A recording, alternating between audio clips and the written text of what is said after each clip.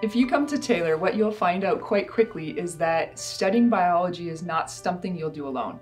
You will do it with your fellow students who are going to come in. You are going to do it with your fellow freshmen, but you will also do it with the seniors who are going to invest in your life.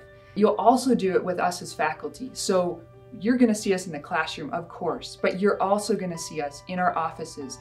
You're going to see us informally. You're going to stop by with questions, or we're going to catch you in the hall and ask you a question. Or you might meet up with us at the Student Center for coffee to discuss your career goals or a specific faith integration question. We also, every semester, we have, we call them coffee conversations where we meet as a group and we just discuss these topics, especially that relate to our faith and how they intersect with biology. So the, along the whole way, you're gonna be walking with others. And I think that is one of the huge benefits of being at Taylor. One of the things I love about working at Taylor is the opportunity for students to come into the lab with me and do research. Um, this has been largely enabled by us buying a confocal fluorescence microscope, which is a, a very fancy microscope that donors have um, provided for us.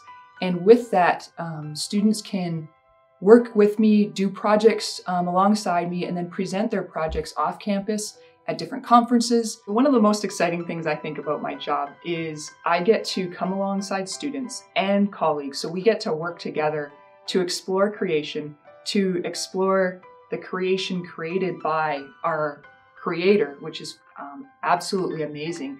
But then we don't just get to learn about, we get to seek ways to apply. We get to seek ways to serve others through the information we're learning. And I don't think you can get a job much better than that.